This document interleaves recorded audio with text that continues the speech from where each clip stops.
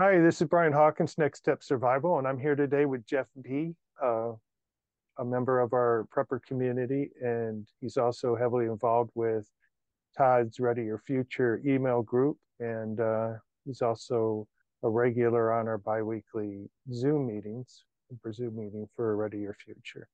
And Jeff had a, a house fire a, a couple of weeks ago. He didn't lose his house and nobody got hurt, so that's good. But he's here today to tell us exactly what happened and maybe offer some help and or tips and guidance for us. So I'll just pass it on to you, Jeff, and uh, you can uh, let us know exactly what happened there. Well, thanks, Brian. Um, well, it started as a just a electrical breaker popping in the panel, and I could not get it to stop tripping. So I even went and got a new one, and uh, that didn't work. So I was talking to a buddy on the phone, and he was giving me some ideas to check. And uh, in the process of this, my grandson had come home and noticed that the siding on the front of the house was melting. I went outside to look at that, and then that's when I kind of realized there was a fire in the wall. The downside of that was I couldn't see flame. I could see smoke, but there was no way to access the fire. So I, I got all my fire extinguishers ready, tried to call 911 of course, you know how that's going with uh, delays and and kind of stuff. So eventually, it melted enough of my siding that it had a couple of holes in it, so I could stick the fire extinguisher in there and and sprayed that, and that's what actually put the fire out. It was out and everything was calmed down by the fire by the time the fire department actually showed up. So there was a lot of lessons learned as far as what to have on hand, a real world get out now you don't have 30 minutes to uh, grab your favorite bug out items and and that kind of stuff. You have to kind of choose what your plan is going to be. Do you stay and fight or do you walk away and let it go? Without the fire extinguishers, I would have lost my house. It was that close. Before we get into the other stuff, I just had a couple quick questions. What was it inside the wiring? Did you ever learn? Was it like a um, frayed wire or broken wire? Or yeah, it was a uh, in the older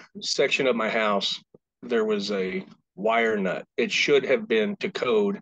It would have been in a junction box, but it was just a wire nut. So that's what broke down. And that ultimately, as that shorted out, that's what was tripping the breaker, but it kept getting hotter and hotter and hotter. Then it, probably the insulation or, or something, the wall board yeah. or something. Yep, yep, yeah. It was just in an old, the old part that was actually a garage before I closed it all off. It was kind of out of place, out of mind, electrical. Should have been done correctly. When the fire department got there and started you said they hit your wall in the article. By the way, Jeff wrote a, a, article on next step survival. I'll post that with this video here.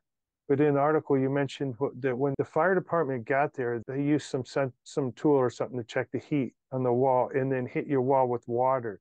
Did they go into the wall with the water? No, no. they, they came inside inside the house. The thing they use is a is a temperature monitor, so it can penetrate the walls or or whatever, but it just picks up heat. So they were getting temperatures around 115, 120 degrees. So that's when he decided he wanted to bust open the sheetrock and go into the wall. So from there, they just used the water. The water wasn't there to put out any fire. It was literally just to cool down the wall. Flood? Did it flood your house? Oh no, no, no, no. I mean, this oh. the water they used was like in a tank the size of a fire extinguisher. I mean, it was really small. What you said in the article was the first thing you did was turned off the house power. I'm not an electrical expert or anything, but I, I believe that's probably the first step to saving your house for an electrical fire. I've never thought about it before a lot of us wouldn't think to do that. But by cutting the power to your house and whatever's igniting the fire stops, right? That was probably the smartest thing you could do first is just to cut that power. There's two parts to that because I initially had the breaker blown for that room.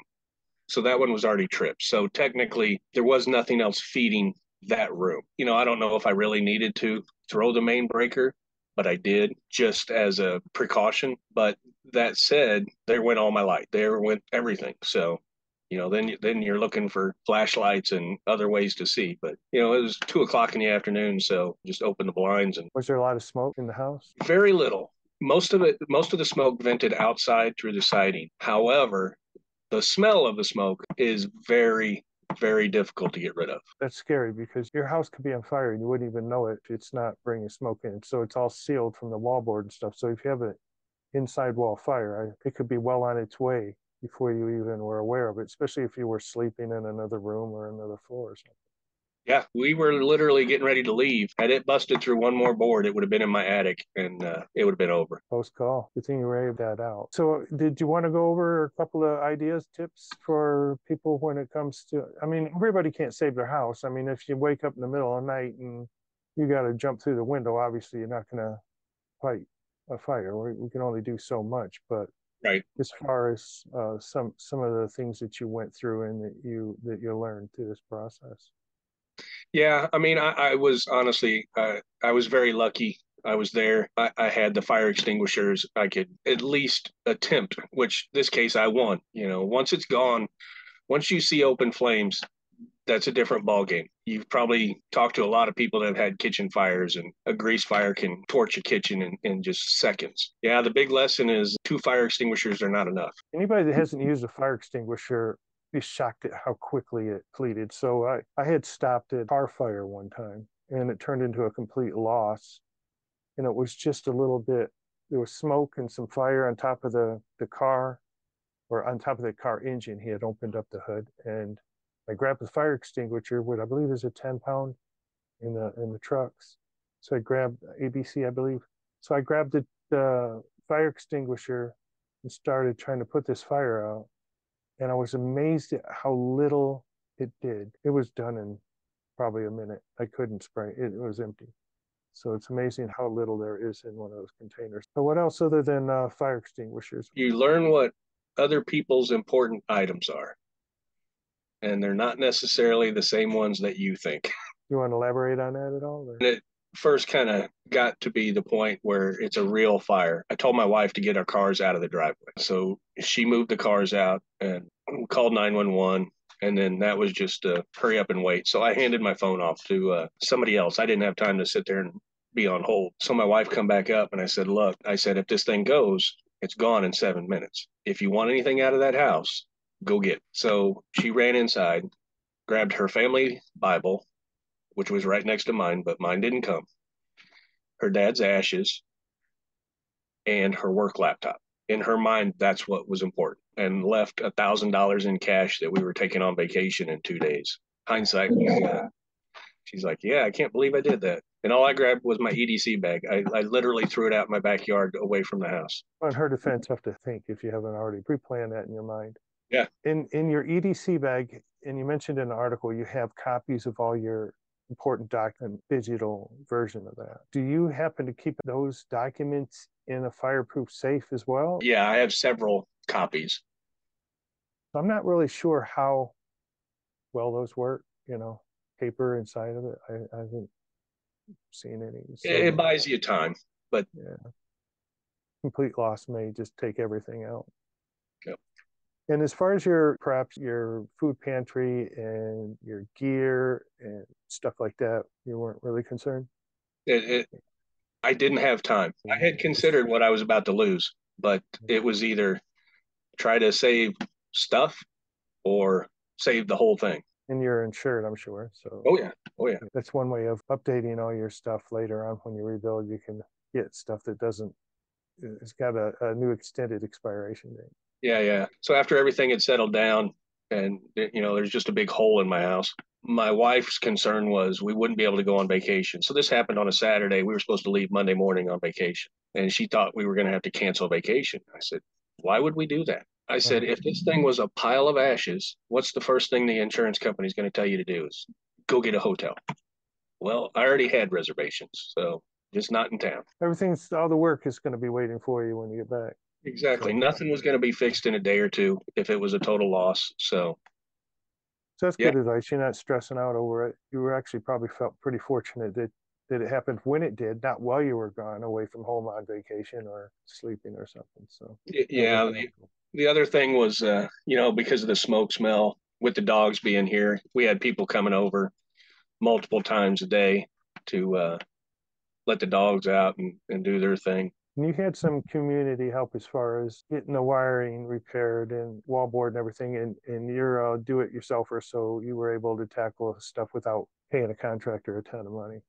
Yeah, I mean, we my uh, my neighbor come over, my grandson's mom and her boyfriend. That's what he does is remodels houses. So literally, I think I had to buy one sheet of sheetrock. Everything else we already had.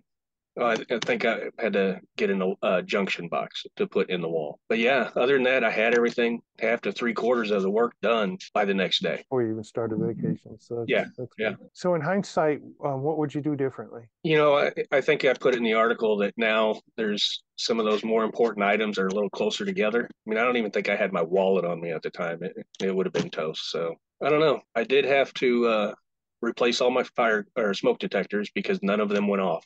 So I wasn't taking any chances, just bought new ones, new fire extinguishers. I didn't know it at the time, but the garden hose on the front side of my house had the tip broken off. So I could not put any water pressure to the house.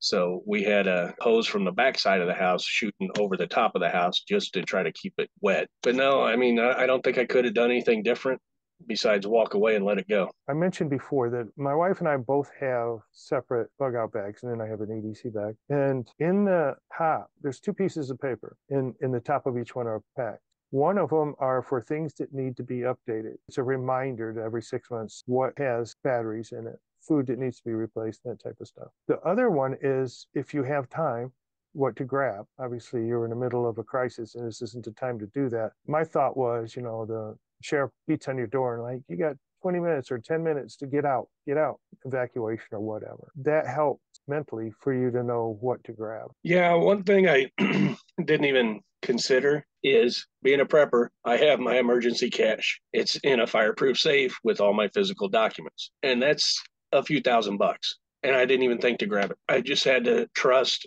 that either A, I was going to win the fight for the fire, or that the fire department would be here soon enough and my fireproof safe was going to last as long as it said it did on the package. I mean, you, you got to have some kind of faith in your in your setup that worst case scenario it, it's going to do what it's supposed to do. I don't know if it's a little OCD, but all that cash is wrapped in multiple layers of aluminum foil. So there's no way it can catch fire.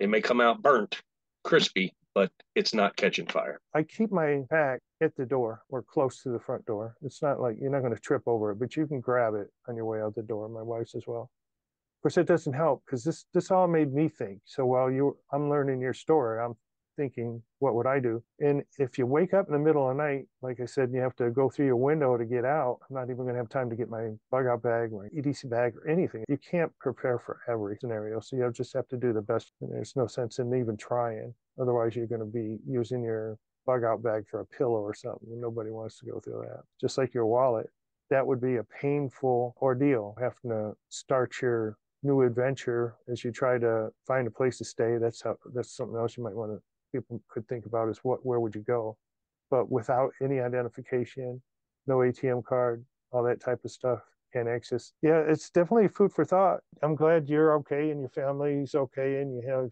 a bug in location your house is back intact so that's all good and i appreciate you coming by and telling us the story i, I knew a lot of it but I know a lot of us on the Ready Your Future email group was curious exactly what was going on. We all learn from other people's uh, ordeals and stuff. When you share what you learned, you're helping the entire community, and I appreciate that. Any final thoughts before we uh, close out? No, I, I, I just really would encourage people to to really sit down and think this through because uh, a plan, delegate tasks. Everybody has something to grab nobody can grab it all. Think it through. All right. Well, I'll close this out, and I appreciate you, Jeff. And it was uh, it was uh, nice of you to come on and share that and, and write an article for uh, Next Step Survival. So this is Brian Hawkins with Jeff B, and I appreciate your time. We'll see you later.